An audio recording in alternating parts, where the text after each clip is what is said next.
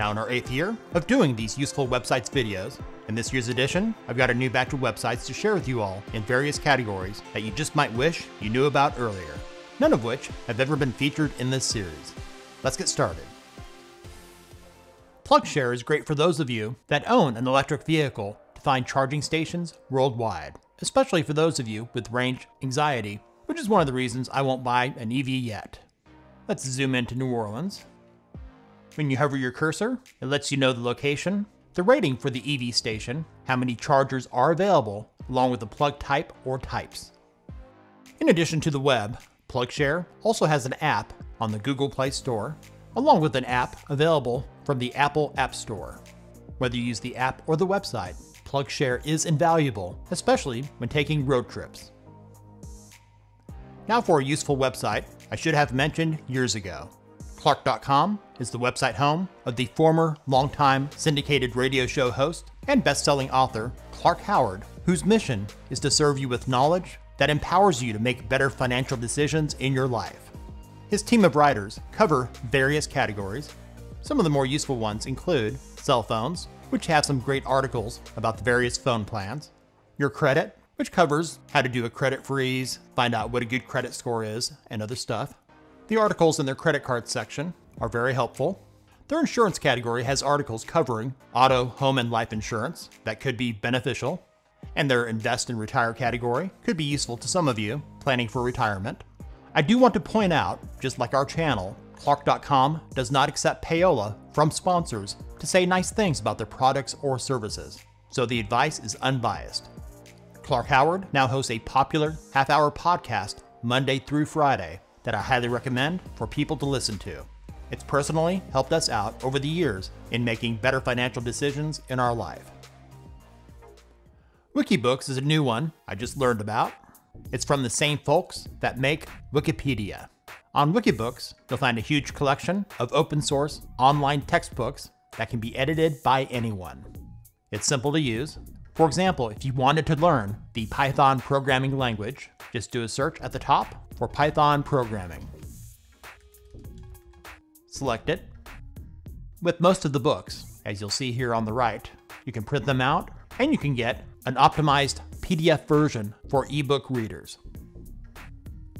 Envato Elements is an awesome site for creatives, especially for those of you creating videos and presentations.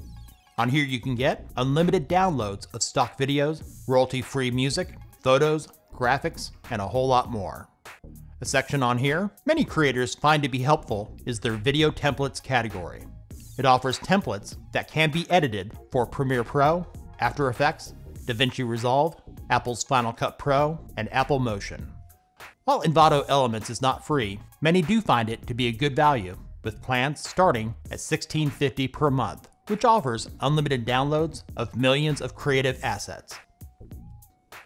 Real quickly, Mixkit is another site owned by Envato that might be worth your time to check out and bookmark if you're a creative on a budget making videos for YouTube or some other service.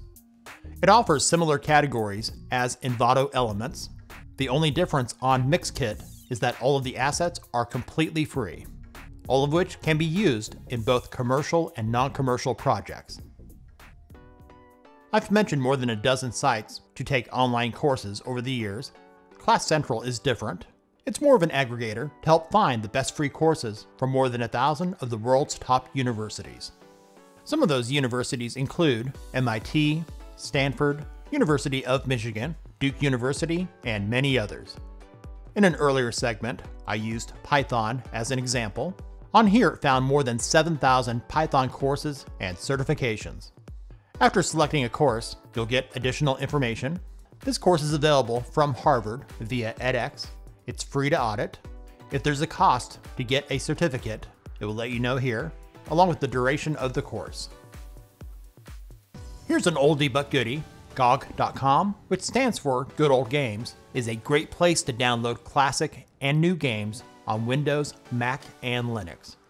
It's a subsidiary of CD Projekt, the makers of the Witcher series and Cyberpunk. The main reason I've downloaded tons of games off of here is that all of their games are DRM free. While digital rights management in itself is not bad, the way some publishers implement it can be awful. A couple examples are requiring an online connection to play and limiting installs on more than one machine. While GOG.com is a great place to find classic games you won't find elsewhere, they also have awesome sales on newer titles as well, just like Steam, but without the DRM limitations. Now, this one is insane. On the website Upstract, that's been around since 2002, they refer to their site as the mother of news aggregators with news from popular sources all on one page. Some examples of what sources you'll find on here include Reddit, Google and Yahoo News, Reuters, the New York Times, Digg, Vox, ABC News, news from CBS, and so many others, it would literally take me all day to tell you. The Hive Index is a directory of online communities organized by topic, platform, and community features. Some of the platforms represented on here include Reddit, Facebook, Discord, X formerly known as Twitter, and many others. After doing a search, for example, I just did a search for NFL, it now shows communities available on the various platforms. AntennaWeb is a fantastic site for those of you wanting to save money by getting rid of cable, satellite, or any other cable-like streaming service. The site will show you all of the free over-the-air broadcast channels in your area. After entering your location, it will show you the number of channels that you can receive at your location. When you scroll down, it'll show you the channels that you can get over the air. If you're looking for a news aggregator focused only on the breaking technology news, nothing tops the Techmeme website. You'll find articles on here covering all of tech from the most popular and reliable sources. Techmeme also has one of the more popular tech podcasts that I listen to Monday through Friday called the Techmeme Ride Home. The host, Brian McCullough, does a great job of getting to the point without too much filler. Consensus is a cool search engine for those times, you need a more concise answer than what you'd find on Google and the other search engines. Using AI, it analyzes more than 200 million academic papers to give you answers based on research. I'll now ask it a question Does alcohol affect sleep? When it's done, you'll see a summary at the top, and you'll see other answers below. Consensus is free with unlimited searches, but will limit access to GPT-4 summaries. For additional features, plans start at around $9 per month. Ultimate Book List is a celebrity book recommendations website with a massive database.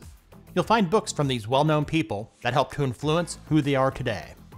On the site, there are book recommendations from celebrities and entrepreneurs like Taylor Swift, Mark Zuckerberg, Joe Rogan, Bill Gates, Mark Cuban, and many others. At the top of their homepage, you could do a search for a personality or a specific book to find out which personalities read that book. I'll do a search here for Elon Musk and select it.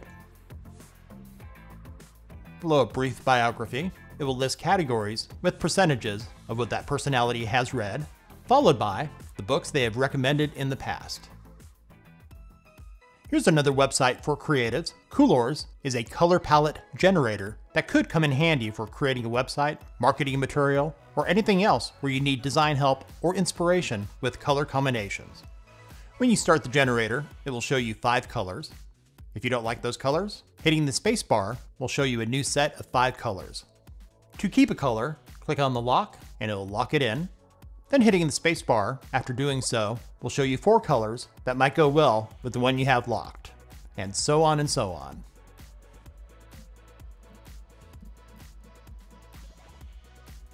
While most people will be fine just using Coolors for free, they do offer a pro version for 3 bucks per month that is ad-free with additional features. Does the Dog Die is somewhat of a morbid site that can be useful for those of you still traumatized by the ending of Old Yeller or other films and shows where the dog dies. The site also offers warnings about other topics as well. In this example, doing a search for the 1983 film Cujo, it lets us know that the dog did die. And below that, you can also get other interesting information.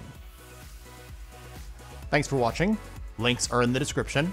If this video was useful for you, give it a thumbs up and share it with others. let us know in the comments the websites you visit that might be useful for others to know about. And if you're new to our channel, I invite you to subscribe and click the bell to not miss out on our latest useful websites videos and other tech related stuff.